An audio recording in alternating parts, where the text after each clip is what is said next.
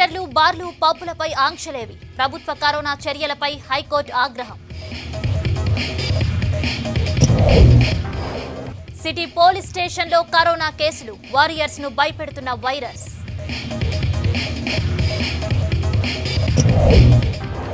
Mini బస్సులతో ఆర్టీసీకి నలభై కోట్లు నష్టం.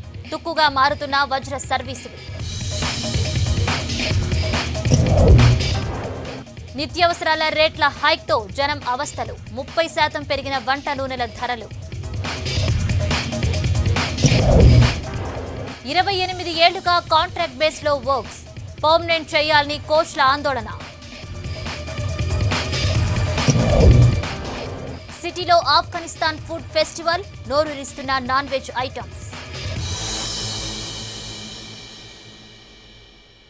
రాష్ట్రంలో కోవిడ్ టెస్టుల నిర్వహణ చర్యలపై హైకోర్టు అసంతృప్తి వ్యక్తం చేసింది. గత విచారణలోని కోర్టు ఆదేశాలను ప్రభుత్వం పట్టించుకోకుండా వ్యవహరిస్తుందని ఆగ్రహం వ్యక్తం చేసింది.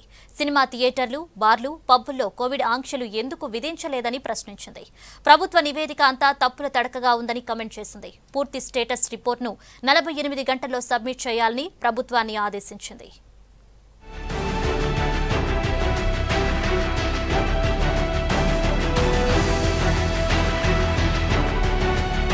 రాష్ట్రంలో కరోనా వ్యాప్తిపై దాఖలైన రెండు పిటిషన్లపై హైకోర్టు విచారణ జరిపింది. సెకండ్ వేవ్తో ప్రమాదం ఉందని టెస్టుల విషయంలో ప్రభుత్వం అలసత్వంగా వ్యవహరిస్తోందని వ్యాఖ్యానించింది. గత నెల కోర్టు విచారణలో ఆదేశించినట్టుగా ప్రభుత్వం చర్యలు తీసుకోలేదని అసంతృప్తి వ్యక్తం చేసింది. టెస్టుల విషయంలో పూర్తి స్టేటస్ రిపోర్టు కోరడంతో ప్రభుత్వం నివేదికను కోర్టుకు ఇచ్చింది.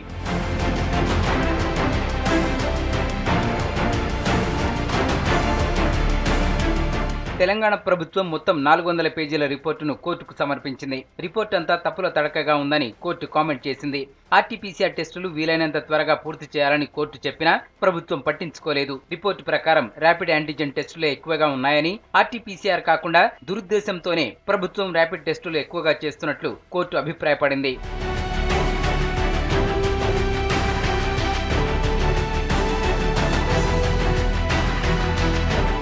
గతంలో ఇచ్చిన ఆదేశాలను తెలంగాణ సర్కార్ దృష్టిలో ఉంచుకుందని హైకోర్టుకు తెలిపారు. అడ్వకేట్ జనరల్ విద్యా సంస్థలు బంద్ చేశామని ప్రజలు గుమిగూడకుండా మాస్క్ తప్పనిసరైన జీవో తెచ్చామన్నారు. తొమ్మిది లక్షల డెబ్బై ఐదు వేల టెస్టుల్లో ఏడు లక్షల అరవై వేలకు పైగా ర్యాపిడ్ టెస్టులు చేశామని లక్షన్నరకు పైగా ఆర్టీపీసీఆర్ చేశామని ఏజీ కోర్టుకు తెలిపారు. సినిమా థియేటర్లు బార్లు పబ్బుల్లో కోవిడ్ ఆంక్షలు ఎందుకు విధించలేదని హైకోర్టు ప్రశ్నించింది.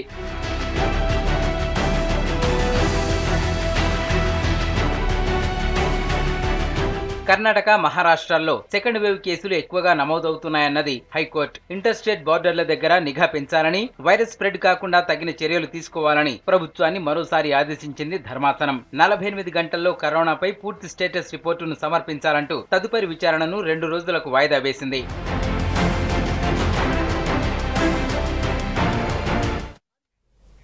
సిటీలో రోజురోజుకి కరోనా సెకండ్ వేవ్ కేసులు పెరుగుతున్నాయి. మార్కెట్లు బస్టాండ్లు షాపింగ్ మాల్స్ లాంటి రద్దీ ప్రాంతాల్లో ఈ వైరస్ వేగంగా వ్యాపిస్తోంది. గత వారం రోజుల నుంచి పోలీస్ స్టేషన్లో కూడా పాజిటివ్ కేసులు కలకలం రేపుతున్నాయి. లాక్డౌన్లో కరోనా వారియర్స్ లాగా పనిచేసిన పోలీసులు వైరస్ భయపెడుతోంది. దీంతో పోలీస్ ఉన్నతాధికారులు ఇప్పటికే సిబ్బంది హెల్త్పై ఫోకస్ పెట్టి తగిన జాగ్రత్తలు తీసుకుంటున్నారు.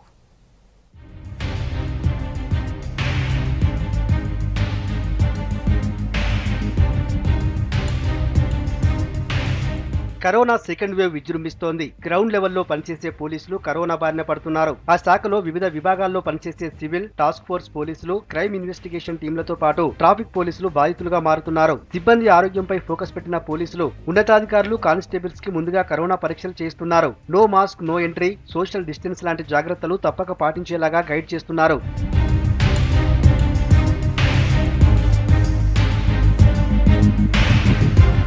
వారం రోజుల్లో బంజారా హిల్స్ పోలీస్ స్టేషన్లో పన్నెండు మంది సిబ్బంది వైరస్ బారిన పడ్డారు. సిఐ ఎస్ఐ తో పాటు మరో పది మందికి పాజిటివ్గా తేలింది. సిటీలోని అన్ని పోలీస్ స్టేషన్లలో కరోనా టెస్టులు చేస్తే ఇంకెంత మందికి పాజిటివ్ వస్తుందోనన్న భయం అందరిలో మొదలైంది. గతేడాది కూడా చాలా మంది పోలీసులు వైరస్ బారిన పడ్డారు. కొందరు చనిపోయారు కూడా. ప్రస్తుతం నగరంలోని పోలీస్ స్టేషన్లను శానిటైజ్ చేస్తున్నారు. పోలీస్ స్టేషన్లకు వచ్చే విజిటర్స్ నుంచి కూడా కరోనా వచ్చే ఛాన్స్ ఉండడంతో వారు చేతులు శానిటైజ్ చేసుకుని మాస్క్ పెట్టుకుంటేనే లోపలికి అనుమతిస్తున్నారు. గతంలో లాగా లాక్ డౌన్ క్వారంటైన్ లాంటివి లేనందున అందరూ జాగ్రత్తలు పాటించాల్సిందేనని అంటున్నారు పోలీస్ అధికారులు.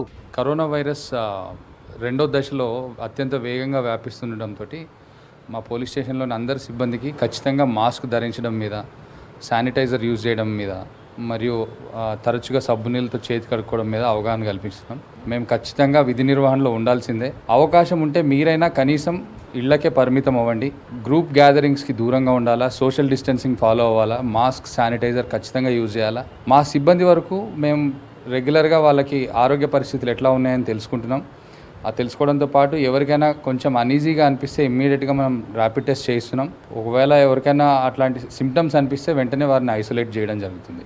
స్టేషన్లలో ఫిర్యాదులు ఇవ్వడానికి గుంపులుగా రావద్దని ఒక్కరు లేదా ఇద్దరు మాత్రమే రావాలంటున్నారు ఇన్స్పెక్టర్లు. నిందితుల నుంచి కూడా కరోనా వచ్చే ఛాన్స్ ఉండడంతో సేఫ్టీ ప్రికాషన్స్ తీసుకుంటున్నారు పోలీసులు. నిందితులకు జ్వరం దగ్గు జలుబు లాంటి లక్షణాలుంటే కరోనా టెస్టులు చేసిన తర్వాతే కస్టడీలోకి తీసుకుంటున్నారు.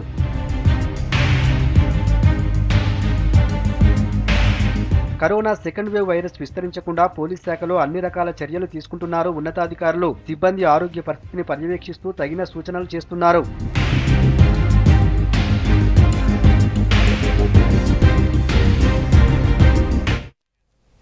మాస్క్ పెట్టుకుని వారికి ఫైన్లు వేస్తున్నారు నార్సింగ్ మున్సిపాలిటీ అధికారులు. ముందుగా మున్సిపల్ ఆఫీస్ నుంచే కార్యక్రమాన్ని ప్రారంభించారు. ఆఫీసులో మాస్క్ పెట్టుకోకుండా డ్యూటీ చేస్తున్న నలుగురు సిబ్బందికి వంద రూపాయల ఫైన్ వేశారు. ఉదయం నుంచి మున్సిపాలిటీ ఏరియాలో తిరుగుతూ మాస్క్ పెట్టుకోని వారికి ఫైన్లు వేస్తున్నారు. జిల్లా కలెక్టర్ ఆదేశాలతో కార్యక్రమాన్ని చేపట్టామని నార్సింగ్ మున్సిపల్ సిబ్బంది చెబుతున్నారు.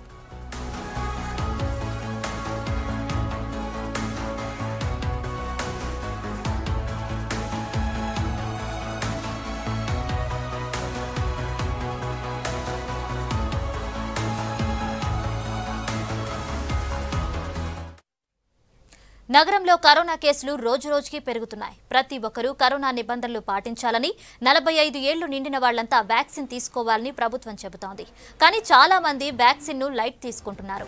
వాల్ సిటీలోని పిహెచ్సిల దగ్గర ఇప్పటి వరకు మంది మాత్రమే వ్యాక్సిన్ తీసుకున్నట్టు డాక్టర్లు తెలిపారు. దీంతో అధికారులు ఆశా వర్కర్లు జనానికి వ్యాక్సిన్ పై అవగాహన కల్పిస్తున్నారు. అర్హులంతా టీకా వేయించుకోవాలని ఎలాంటి సైడ్ ఎఫెక్ట్స్ ఉండవని చెబుతున్నారు.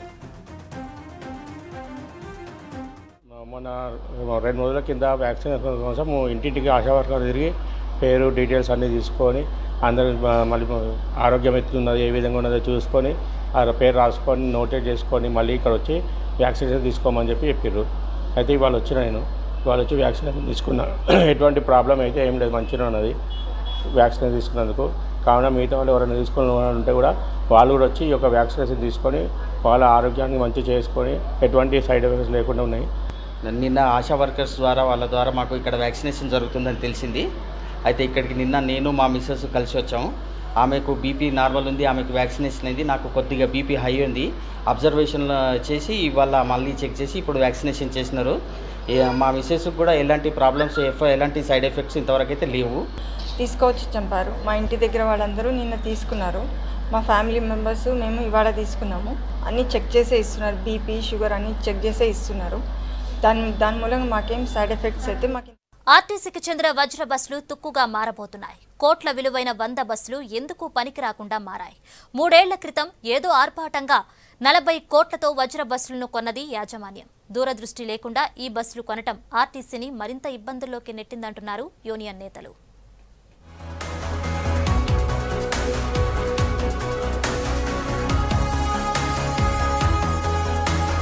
రెండు వేల పదిహేడులో ముఖ్యమంత్రి కేసీఆర్ ఆలోచనతో వచ్చినవే వజ్ర బస్సులు. ఏసీ సౌకర్యంతో చిన్న సైజు సీట్లు కలిగిన ఈ వజ్ర బస్సులను హైదరాబాద్లోని వివిధ కాలనీల నుంచి నేరుగా జిల్లాలకు ప్రయాణించేలా రూపొందించారు. వీటిలో ప్రయాణం అసౌకర్యంగా ఉండటం సీటు చిన్నగా ఉండటం లాంటి సమస్యలతో పాటు ఆన్లైన్లో టికెట్ బుక్ చేసుకుంటేనే ప్రయాణించే వీలుండేది. గరుడ రాజధాని ఇంద్ర బస్సులను పోలిస్తే ఛార్జీలు ఏ మాత్రం తక్కువగా లేకపోవటం కూడా వజ్ర బస్సులకు మైనస్గా మారింది. ఇందులో ప్రయాణిస్తే కుదుపులతో ప్రయాణికులు ఇబ్బంది పడ్డారు. దాంతో ఈ బస్సులకు ఆదరణ తగ్గింది. అనుకున్న ఓఆర్ లేకపోవడంతో లాస్ వచ్చిందని అధికారులు చెబుతున్నారు. కానీ ఇష్టం వచ్చినట్లు నిర్ణయాలు తీసుకోవటం వల్లే ఈ దుస్థితి వచ్చిందంటున్నారు ఆర్టీసీ యూనియన్ నాయకులు.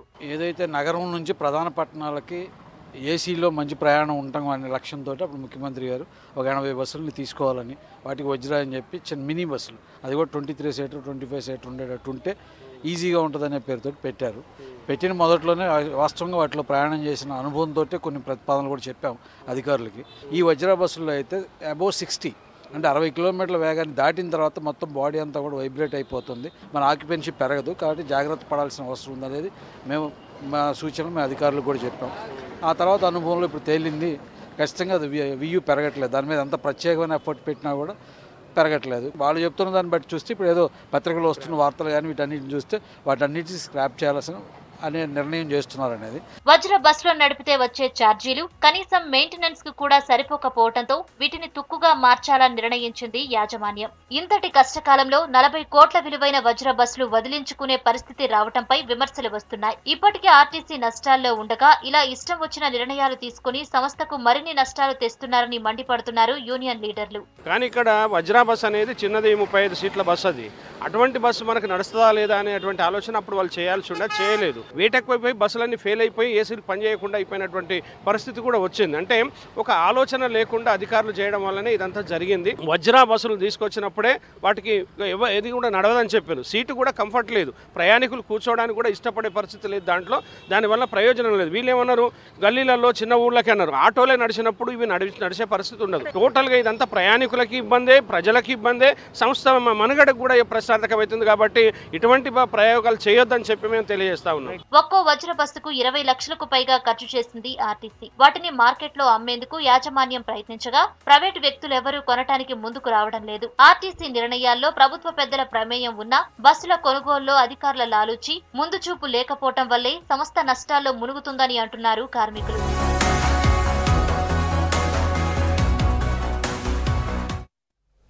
నిత్యావసర వస్తువుల ధరలు భారీగా పెరిగాయి. షాపులకు వెళ్ళి సరుకులు కొనాలంటే జనం భయపడుతున్నారు. మొన్నటి వరకు ఉల్లి పెట్రోల్ ధరలు పెరిగితే ప్రస్తుతం వంట నూనె రేట్లు ఆకాశాన్నంటాయి. గత ఐదు నెలల్లో ఆయిల్ ధరలు ముప్పై శాతానికి పైగా పెరిగాయి. వచ్చే రెండు నెలల్లో మరో పది శాతం వరకు పెరిగే ఛాన్స్ ఉందంటున్నారు వ్యాపారులు. మరిన్ని డీటెయిల్స్ మౌనిక అందిస్తారు.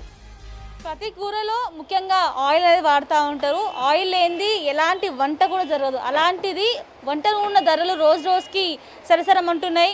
సో లీటర్ కొనేటోళ్ళు కూడా చాలా ఇబ్బంది పడుతున్న పరిస్థితి మనం చూస్తూ ఉన్నాం.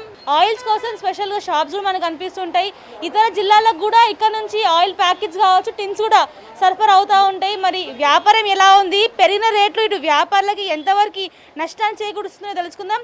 సో రేట్స్ విషయానికి పోలితే అసలు రేట్స్ ఎందుకు పెరుగుతున్నాయి? లాస్ట్ ఇయర్ ఎంత ఉంటే ఇప్పుడు ఎంత ఉంది? యాక్చువల్గా అంటే యాక్చువల్గా అంటే ఇది రేట్స్ ఎందుకు పెంచుతున్నా అంటే ఇది షిప్మెంట్స్ ఇది actually sunflower oil sunflower oil European countries నుంచి వస్తుంది. యూరోపియన్ కంట్రీస్ నుంచి ఇప్పుడు ten ten to fifteen shipments daily వస్తుంది అంటే ఇప్పుడు టూ త్రీ షిప్మెంట్సే వస్తుంది.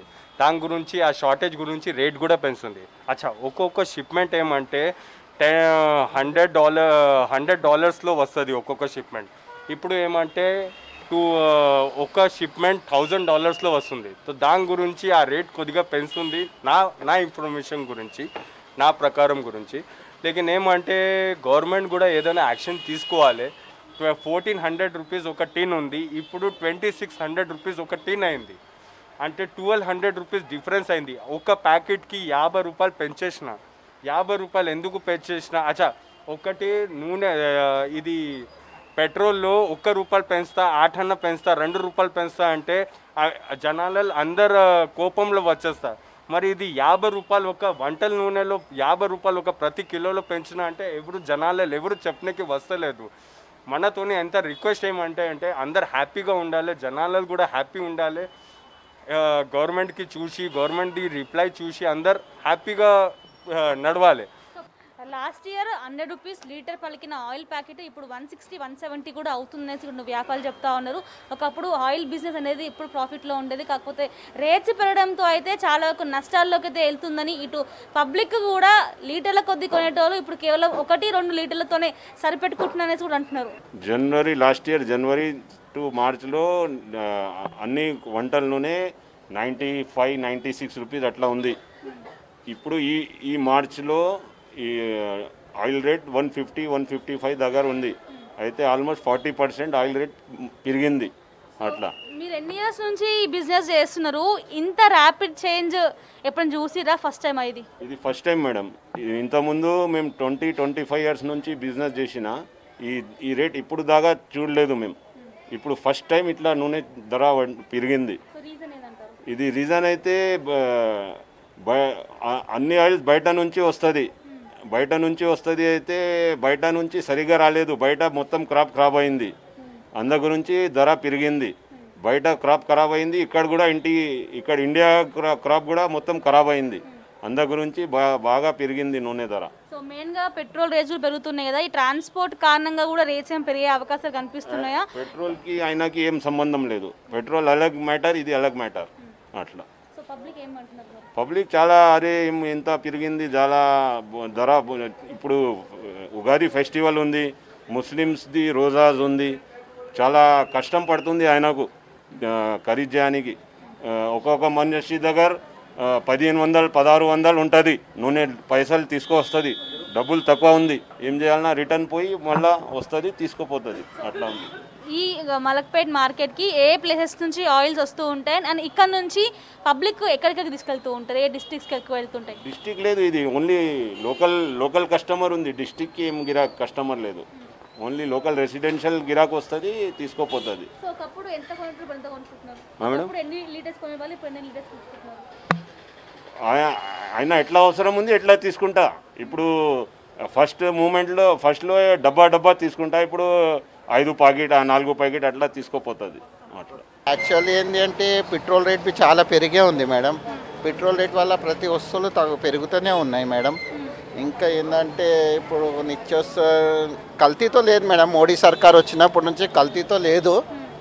కానీ రేట్లే కొంచెం petrol rate plus oil rate తక్కువ అయితే చాలా మంచిగా ఉంటుందని ఆలోచిస్తున్నాం. మధ్యతరగతి పబ్లిక్కి చాలా కష్టమవుతున్నది హై పబ్లిక్కి అంత ఏం లేదు కానీ మధ్యతరగతి పబ్లిక్కి చాలా కష్టమవుతున్నది మేడం. సో దాదాపు ఓన్లీ వంట నూనెకి మంత్లీ బడ్జెట్లో మీరు ఎంత పెట్టుకుంటారు? ఇప్పుడు ఎంత అవుతుంది first thousand five eight hundred వరకు అవుతుండే మేడం. ఇప్పుడు ఫోర్టీన్ ఫిఫ్టీన్ హండ్రెడ్ వరకు అవుతుంది మేడం. రేటు కొంచెం ఆ పెట్రోల్ రేట్ తగ్గితే అన్ని రేట్లు తగ్గుతాయని మా కోరిక మేడం? మేము గోల్డ్ డ్రాప్ వాడతాం madam. Quality Gold Drop quality మంచిగానే ఉంటుంది మేడం. క్వాలిటీ గురించి ఏమో ప్రాబ్లం ఏం లేదు కానీ కొంచెం రేటే రేటే రేట్లే ఎక్కువ ఉన్నాయి మేడం. సో మొత్తానికి ఎక్కువగా అయితే ఇండియన్ ఓషన్ నుంచి కావచ్చు మలేషియా నుంచి యూరోపియన్ కంట్రీస్ నుంచి ఎక్కువగా మనకి కుకింగ్ ఆయిల్ ఇండియాకి వస్తూ ఉంటుంది. అక్కడ స్టాక్ లేకపోవడంతో పాటు సరైన క్రాప్ ఫెసిలిటీ లేకపోవడం వల్ల అయితే ఈసారి రేట్స్ బాగా పెరిగాయనేసి కూడా అంటున్నారు. కెమిస్టర్ మిథున్తో మనకి సిక్స్ న్యూస్ హైదరాబాద్. సీసీ కెమెరాలతో హైదరాబాద్లో తొంభై శాతం క్రైమ్ రేట్ తగ్గిందన్నారు డిప్యూటీ స్పీకర్ పద్మారావు గౌడ్. తార్నాకలో పదిహేను కమ్యూనిటీ సీసీ కెమెరాలను CP Anjani Kumar deputy mayor Mothe శ్రీలతతో కలిసి ప్రారంభించారు. నేరం జరిగిన అరగంటలోనే నిందితులను గుర్తించి అరెస్ట్ చేసిన సందర్భాలు కూడా ఉన్నాయన్నారు. రాష్ట్రంలో లా అండ్ ఆర్డర్ కంట్రోల్లో ఉండటం వల్లే టాప్ ఫిఫ్టీ కంపెనీలు ఇక్కడికి వచ్చాయన్నారు సిపి అంజనీ కుమార్. సీసీ కెమెరాల వల్ల శాంతి భద్రతలు అదుపులో ఉన్నట్టు చెప్పారు.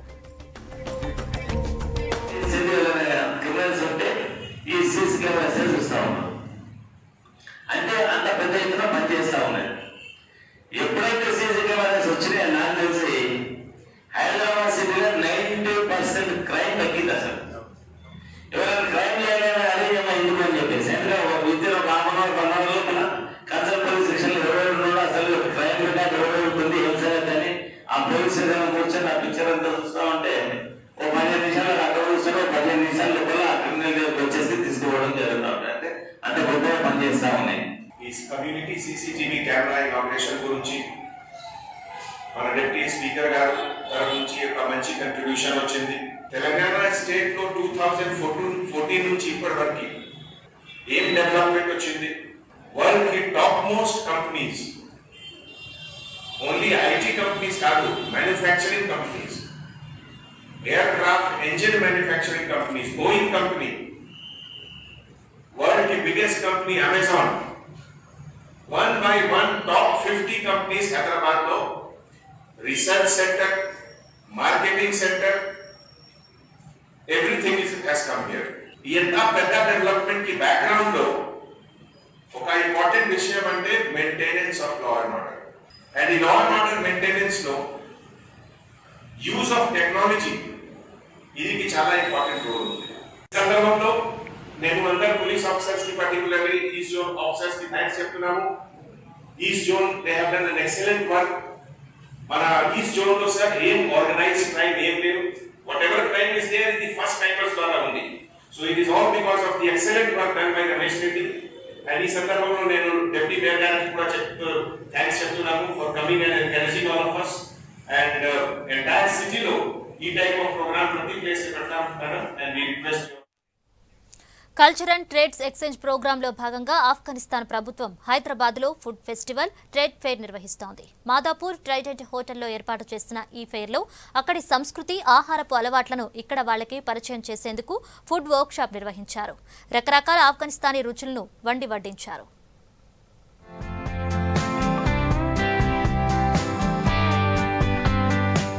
ఫెస్టివల్తో Afghan food culture trade exchange చేయటమే తమ ఉద్దేశ్యమని ఆఫ్ఘన్ కాన్సులేట్ జనరల్ మొహమ్మద్ సులేమాన్ కక్కర్ అన్నారు. మీట్ అండ్ రైస్లో ఆఫ్ఘనీలు ప్రాచుర్యం పొందిన హైదరాబాద్ బిర్యానీ గొప్పగా ఉంటుందన్నారు. కోవిడ్ వల్ల రెండు దేశాల వాణిజ్యంపై ఎలాంటి ప్రభావం లేదని ఫార్మా టెక్స్టైల్స్ లాంటి అనేక ఉత్పత్తులను ఇండియా నుంచే దిగుమతి చేసుకుంటున్నామన్నారు. Planning planning uh, having this food festival here in Hyderabad in collaboration with CD Foundation and the Trident Hotel. And the idea basically is to promote culture and uh, promote trade and business between the two countries and learn about how business work here and between Afghanistan and India. This food festival is also important that we uh, introduce Afghan foods here. And similarly, we are acquainted with the Indian food, especially Hyderabadi food, the biryani, which is very special.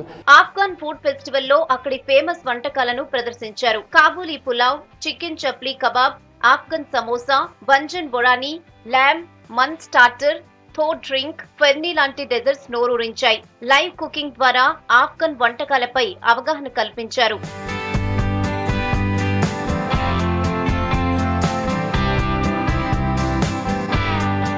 Kabul నుంచి వచ్చిన five star women chef Sharifa నేతృత్వంలో ఈ వంటకాలను పది రోజుల పాటు హైదరాబాదీలకు పరిచయం చేస్తున్నామని Trident hotel chief chef Dharmender Lamba అన్నారు. ఆఫ్ఘన్ వంటకాలు ఇండియన్ వంటకాలకు ప్రధానంగా స్పైసెస్ చిల్లీస్లో తేడా ఉంటుందని స్పినాచ్ ఫర్న్ లాంటి హర్బ్స్ తాము ఎక్కువగా ఉపయోగిస్తామని ఆఫ్ఘన్ షెఫ్ షరీఫా తెలిపారు. మీట్ అండ్ రైస్లో ఎక్కువ వెరైటీస్ తమ డైనింగ్లో భాగమైన వెజిటబుల్ వంటకాలను కూడా ఆఫ్ఘన్స్ చాలా ఇష్టంగా తింటారని చెప్పారు. We when we got the opportunity when Mr. Mehta told us that we're going to collaborate with the Afghan chefs who are coming all the way from Kabul, and of course we got Chef Fariba uh, to work with us. It has been a very enriching, enlightening experience. We have learned so much about the Afghan culture, uh, Afghanistan, all because of food that we saw here. Because the food that is created is so subtle, so simple, and it reflects on the lifestyle that the Afghanis are living. Um, very, very rich in terms of flavor very very uh, sober in terms nothing's too loud but when it when you put a spoonful in your mouth you actually feel you've, you've reached afghanistan virtually so i think in all in all it's been a very very learning experience for the entire team here I came uh, here to, for Afghan food festival, which, uh, which is uh, most of the Afghan dishes like uh, kabli palau, mantu, chabli kebab. This all that I want to go to show here, and most of the guests are also they like it the foods. And uh, here I don't want to take your time too much. Just I want to give you some uh, live uh, shows. If you have any question, please let me know. Afghanistan special dry fruits jewellery carpets చేనేత వస్త్రాలు పింగాణి పాత్రలు రకరకాల ఆఫ్ఘన్ కళారూపాలను ప్రదర్శనలో ఉంచారు అక్కడి culture పరిచయం చేసేందుకు ఇలాంటి ప్రదర్శనలు ఉపయోగపడతాయన్నారు ఆఫ్ఘన్ అధికారులు పది రోజుల పాటు ఈ Afghanistan food festival trade fair కొనసాగనుంది రాష్ట్రంలో ఆటగాళ్ళకు కోచింగ్ ఇచ్చే వ్యవస్థ అస్తవ్యస్తంగా మారింది. స్పోర్ట్స్ అథారిటీ అంటే భవిష్యత్తులో పాలన సంబంధ వ్యవహారాలే తప్ప కోచ్లు కనిపించరేమోనన్న డౌట్స్ వస్తున్నాయి. రాష్ట్రాన్ని స్పోర్ట్స్ హబ్గా చేస్తాం స్పోర్ట్స్ సిటీగా మారుస్తాం. ప్రపంచంలోనే అత్యుత్తమ పాలసీని రూపొందిస్తామని గొప్పలు చెప్పే రాష్ట్ర ప్రభుత్వం ఆ దిశగా ఎలాంటి చర్యలు తీసుకోవట్లేదన్న విమర్శలు వస్తున్నాయి.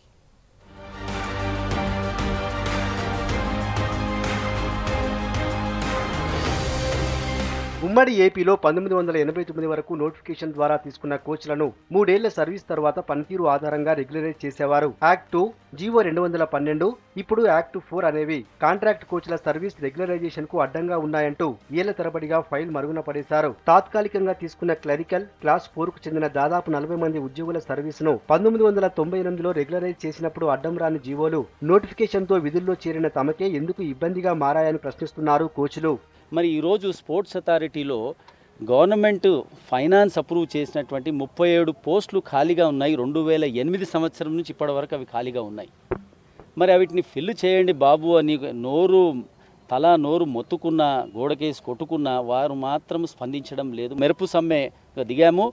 చైర్మన్ గారు వచ్చే వరకు వారి ఛాంబర్కు మేము ఇక్కడ నుంచి కదలము. ఇలాగే ఇక్కడ కూర్చొని స్లోగన్స్ చేస్తాము. మాకు న్యాయం జరిగే వరకు మేము చైర్మన్ గారిని వదిలిపెట్టాం ఈరోజు. ఉమ్మడి రాష్ట్రంలో రెండు వేల ఎనిమిదిలో జరిగిన స్పోర్ట్స్ అథారిటీ పాలక మండలి సమావేశంలో డెబ్బై ఆరు మంది గ్రేడ్ త్రీ కోచ్లు అవసరమని గుర్తించారు. రాష్ట్ర విభజన తరువాత తెలంగాణలో ముప్పై ఏడు కోచ్ల పోస్టులు ఖాళీగా ఉన్నాయి. పంతొమ్మిది వందల తొంభై మూడు పంతొమ్మిది వందల తొంభై తొమ్మిది బ్యాచ్లకు చెందిన కోచ్ల్లో ప్రస్తుతం పదిహేను మంది మాత్రమే కాంట్రాక్ట్గా వర్క్ చేస్తున్నారు. వారిని రెగ్యులరైజ్ చేసినా మరో ఇరవై రెండు పోస్టులు మిగులుతాయి. ప్రస్తుత అవసరాలకు తగ్గట్టుగా మరో రెండు వందల మంది కోచ్లు అవసరం ఉంది రెండు వేల తొమ్మిదిలో అవుట్ సోర్సింగ్ ద్వారా తీసుకున్న కోచ్లను క్రమబద్ధీకరించే అవకాశం ఉన్నా ప్రభుత్వం పట్టించుకోవట్లేదు. దీనికి స్పోర్ట్స్ అథారిటీలోని కొందరు ఉద్యోగులు ప్రభుత్వ పెద్దలకు ఇస్తున్న తప్పుడు రిపోర్ట్లే కారణమంటున్నారు కోచ్లు. మా జీవితాలే చాలా భయంకరంగా ఉన్నది. మావన్నీ శాంక్షన్ పోస్టులే రెగ్యులరైజ్ పోస్టులు. ఆ శాంక్షన్ అయిన పోస్టులని కరెక్ట్గా చేయకపోవడం వల్ల మేము ఇలా ఇంత సఫర్ అవుతున్నాం. ఎవరి గురించి విమర్శించలేము. మాకు కావాల్సింది ఎందుకు చేయలేదు? ఎన్ని సంవత్సరాలు మేము ఇలా అయిపోవాలి ఇంకా? రానున్న కోచెస్కి మేము ఏం ఊపిరి ఇస్తున్నాం? ఏమి ఆశ కలిగిస్తున్నాం? ఎంతమంది కోచెస్ అవసరం ఉంటుంది? ఎంతమంది కోచెస్ మేము రెగ్యులరైజేషన్ గురించి అవసరం ఉన్నది? ప్లస్ దీనికి ఎంత వేకెన్సీస్ ఎగ్జిస్టింగ్ వేకెన్సీస్ ఎంత ఉందని టోటల్గా అబ్స్ట్రాక్ట్గా మేము సబ్మిషన్ చేసాం కానీ దాన్ని ఇవాళ చేస్తాము రేజ్ చేస్తాం ఇది బోర్డు మీటింగ్లో కూడా దీన్ని డిస్కషన్ వచ్చింది. బోర్డ్ మీటింగ్లో కూడా దీనికి అప్రూవల్ అయ్యింది కానీ బోర్డ్ మీటింగ్ తర్వాత కూడా దీన్ని దాన్ని ఫర్దర్ ఏం దీన్ని తీసుకోపోకపోవడం అనేది బాధ అనిపిస్తున్నది. ట్రైన్డ్ కోచెస్ లేక రాష్ట్రంలో క్రీడారంగం అభివృద్ధి జరగడం లేదు. కరీంనగర్ స్పోర్ట్స్ స్కూల్లో రెండు వందల ఎనభై మంది పిల్లలకు ఉన్నది ఇద్దరే కోచ్లు. ఆదిలాబాద్లో రెండు వందల మంది పిల్లలకు శిక్షణ ఇచ్చేది కూడా ఇద్దరే. రాష్ట్ర ఆవిర్భావం నుంచి స్పోర్ట్స్ అథారిటీ ఆఫ్ తెలంగాణకు పాలక మండలి లేదు. దీంతో శాట్ సమస్యలను చర్చించే వేదిక లేకుండా పోయింది.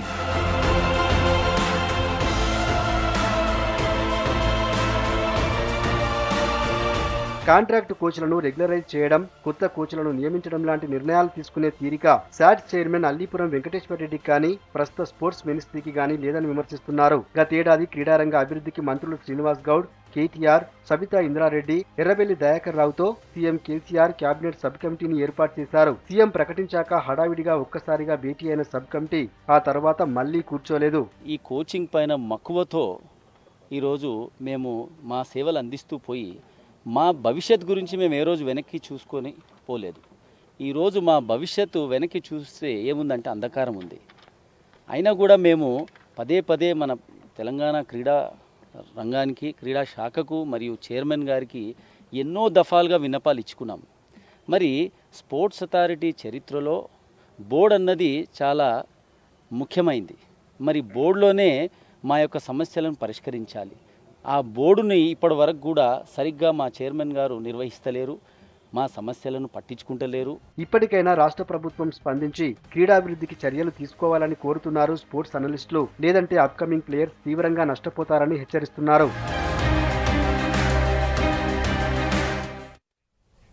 ఇవి bulletin updates. Keep watching six news.